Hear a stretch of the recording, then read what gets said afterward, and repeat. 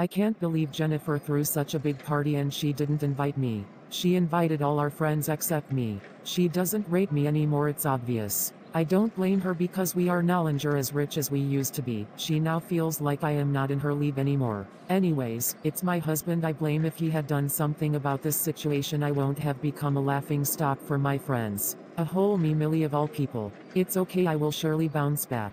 Jakes look how you have turned my life upside down. You have turned me into a laughing stock. My friends are now hanging out and partying without me. Honey, but that is not my fault. It's not my fault that I lost my job. You know things didn't used to be like this. And I know that I won't remain like this forever. Can you please stop talking about the past? You used to be rich as past tense. Now you are not. Do something about it. I am getting fed up of this situation. Honey, but you know that I am trying my best. Things are not just working out the way they should. Please bear with me. Things will get better soon, I know it. When is soon? We have been like this for the past two years now and there has been no change. I am getting tired of this ooh. I was observing you from a distance and you really seem so unhappy. What is the problem? Everything is the problem right now. My life has completely turned upside down. I am in so many debts, and my home is at the point of breaking. Jakes, it's not your fault that life turned out to be unfair to you. You are a good and hard-working man. I know that you are trying but things are just not going as they should. But I don't want you to lose hope. The worst part now is my wife.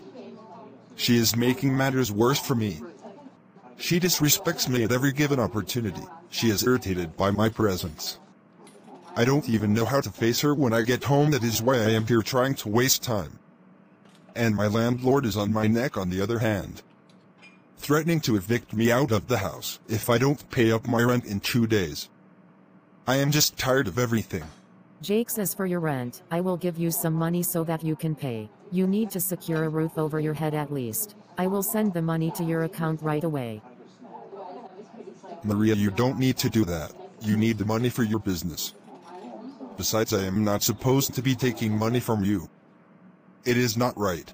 Jake, but I am not complaining. No matter how much I give you, I cannot repay you for what you did for me four years ago. You helped me set up this place. You supported me with a large sum of money. Your support is one of the reason why I was able to establish this restaurant. I owe my success story to God through you. So if I offer to help pay your rent now that you are not financially stable please let me repay the kindness. I really do not know how to thank you.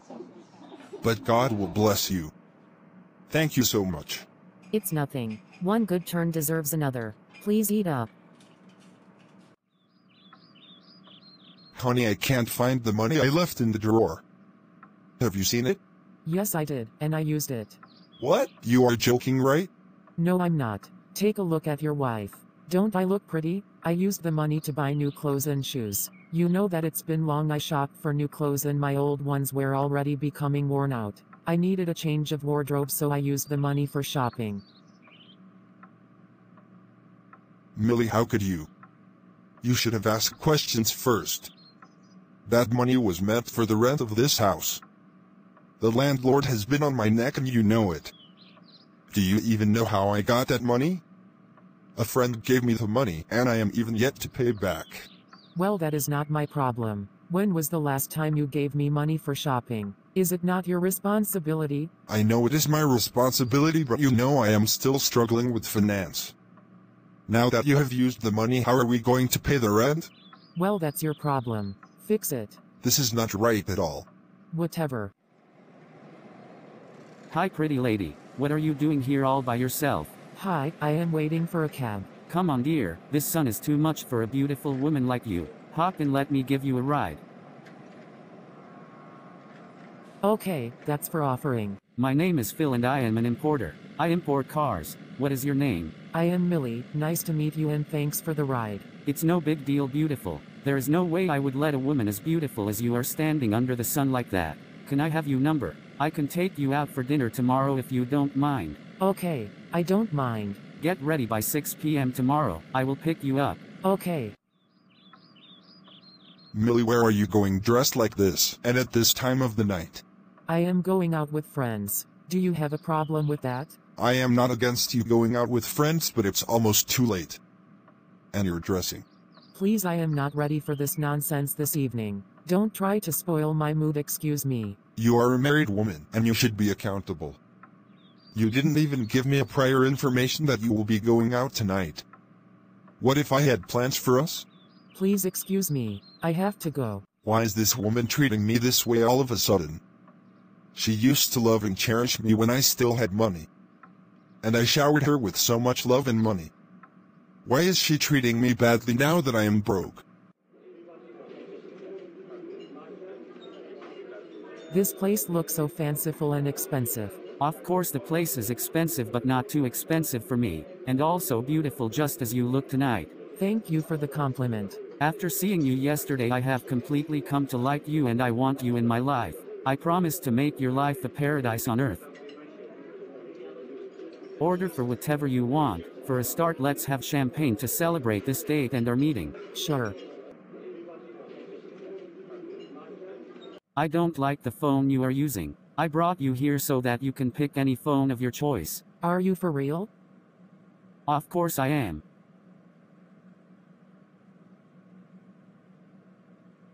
Thank you so much, you are a darling.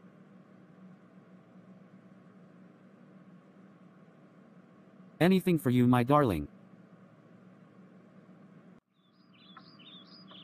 I tried calling you all night long and you didn't pick up. Why didn't you come home last night? Please don't try to spoil my mood. I am too tired to answer those questions now. I need to rest. I am your husband and you owe me explanations to why you didn't come back last night. I don't think I owe you any explanations. A man who cannot take care of his responsibilities do not deserve any explanations. Whose phone are you holding? This is my new phone. Where did you get such an expensive phone from? I know that you do not have such money to buy a new phone talk more of such expensive phone. Since you want to know, I will tell you. A man like you got me this phone. A man who knows my worth. A man who knows how to treat his women. When was the last time you changed my phone? Millie are you cheating on me with another man? How dare you? Whatever. You are my wife and under my roof. How dare you talk about another man? I still pay your bills. Why are you shouting like a town crier? If you had done what you were supposed to do I won't have cheated. If you continue shouting I will just leave this place. Besides is this even a house? I am even fed up of you and you broke self. Millie how could you do this to me? After everything. Is it my fault that things turned bad? Why are you breaking me? You are welcome to my house. Feel free this is also your home now. Whatever you need ask the housekeeper. Don't stress yourself doing anything. Just relax and enjoy yourself. I must say you have a really beautiful home. Feel at home baby. I just sent you some money. I am going out for a business meeting. If you get bored go shopping. You are a sweetheart. Thank you so much.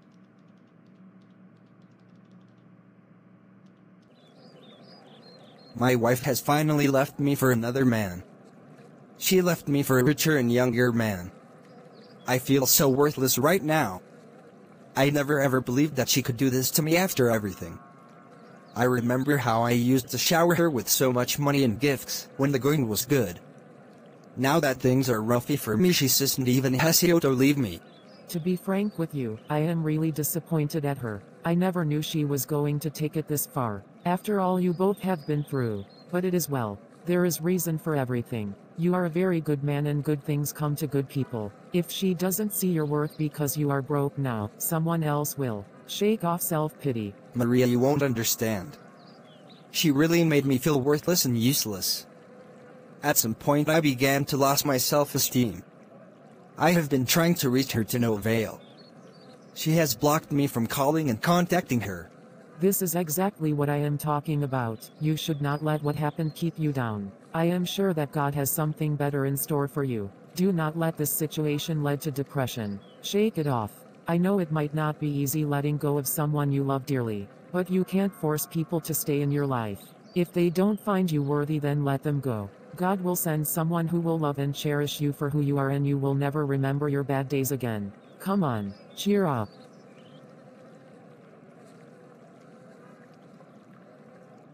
Let's go to my restaurant so that you can eat something. You have lost so much weight. Millie, there is no need wasting time or beating around the bush. I want you to marry me. Wow. I was actually waiting for you to ask me. Of course I will marry you. You are such a sweet man. You are my dream man. So you don't even need to ask. I am all yours. Great. So we have to start planning for our wedding. I actually do not need a very elaborate wedding. Because I don't want your ex-husband to come and cause problem on our wedding day. So we are going to have a very private wedding with very few people who are going to come strictly on invitation. Cool. I am perfectly okay with that. You are making sense. I can't wait to be your wife. And immediately after our wedding we will be going for our honeymoon vacation in Paris. How about that? Are you kidding me? Oh wow I can't wait to go on that vacation.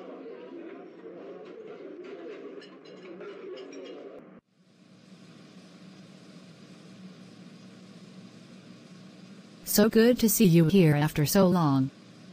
How are you doing? Good to see you too. How have you been? What are you doing here? Oh, I supply food for people here. And you? I thought you and your husband relocated abroad. What are you doing here? Yes, my husband and I relocated abroad and we are based there now. As a matter of fact, we just came around to establish a business businesser. We want to establish a branch of our company here. Oh wow, that's great. But if you both are based abroad, how then will you run the branch here? That's the challenge we are facing now because we had someone in mind. My husband's brother was supposed to be in charge of the branch here, but he is not behaving well at all.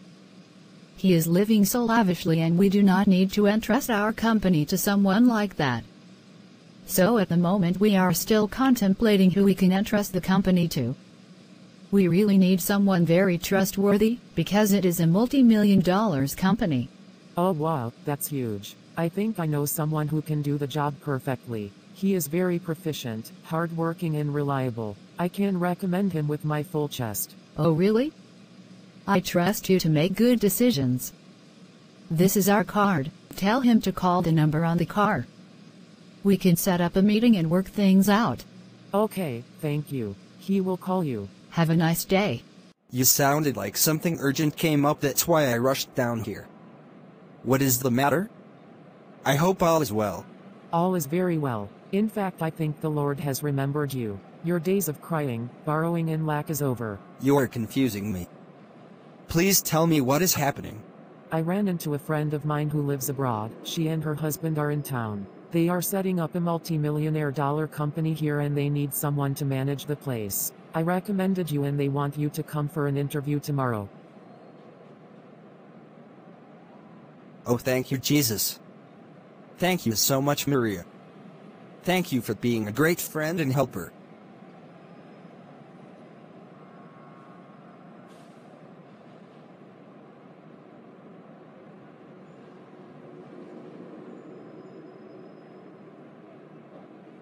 Honey, we need to start going to the airport now. Our flight is in two hours, we need to hurry up. Meanwhile, are you done packing?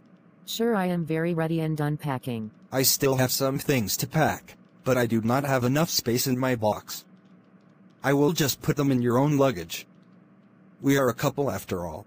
Sure, you can pack your clothes in my box. I still have enough space. You know it's a very big box. Do you need my help packing them? No dear, I don't want to bother you. I will do it myself. Okay, if you say so. Meanwhile, I need to go to some important transactions at the bank. I almost forgot. I will be back soon. But if there is a delay, just pick a cab to the airport. Do not wait for because I will go to the airport once I am done in the bank. What if we miss our flight? We won't miss our flight. If I am running late, make sure you board. Do not wait for me. I will find my way. But I promise you we are not going to miss our flight. I have my ways. Trust your man. Of course I trust you, but please try to be on time. Sure I will. Phil is taking too long. I should be heading to the airport now. His number is not going through. Maybe he is already at the airport. I have to get going now. Millie was trying to get checked in and some hard drugs were discovered in her luggage. She was arrested and Phil was nowhere to be found. I heard that Millie has been arrested for possession of hard drugs. She was apprehended at the airport on her way to Paris for her honeymoon. Yes, that's true, and she has been calling me to come visit her. She wants me to come testify that she doesn't deal drugs. But I am not going. She should face her warrant. That's her problem, not mine. After what she did to me, she expects me to forgive her and testify in her favor. No way. Don't say that. In my opinion, I will say that you should go see her and hear her out. Help her if you can. You and I know for a fact that she didn't not do it. It's obvious that her supposed husband was trying to use her, but things got bad. I know that she didn't do it. I know that you are angry with her after what she did to you, but to err is human and to forgive divine. Forgive her so that you can be free too. When we offend God, He forgives us. We too, as humans, should learn to forgive. Please just go and see her. You are right. I will forgive her, but I do not want to have anything to do with her again. I will go and visit her just once. I will also try to help her the way I can. But that will be all.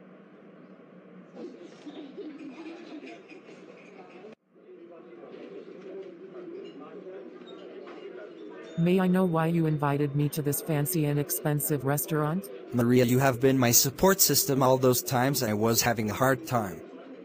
You stood by me when family and friends abandoned me. You prayed for me. You gave me a shoulder to cry on, you supported me financially. You are a very good woman. You are making me blush now. Take a good look at me now. My life has completely changed for good. And it is all through you. You are just a good scent. A good woman like you is hard to find and when found must be kept and treasured. This new phase of my life will be incomplete without you in it. I want you to come enjoy this wealth I have now. You stood by me when I had nothing, so I want you in my life now that I have everything. If any woman should enjoy my money now, then it has to be you. Maria, please marry me. Let us build an empire together. I know that with you by my side I will do exploit. Jakes, you are a good man. And I wouldn't have wished for a better man than you. Yes, I will marry you. I am the happiest man in earth today. Thank you for saying yes. Jakes and Maria got married and lived happily ever after. Millie was charged to court and found guilty and was sentenced to jail for a period of time. Phil was nowhere to be found, he abandoned her to pay for the crime and suffer alone. Do you think Millie got the punishment she deserved? And what do you think about Jakes marrying Maria? Please let me know your opinion in the comments section. Thank you for watching, kindly click on the subscribe button below, it's is free. Like, and share our video. And remember to turn off notifications to the channel. God bless you.